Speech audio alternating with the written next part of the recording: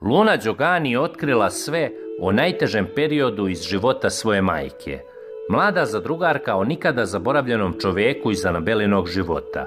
Posljednji zadatak zadrugara posebno je ganuo blogerku Lunu Đogani, koja se prisjetila prve velike ljubavi Anabele Atijas.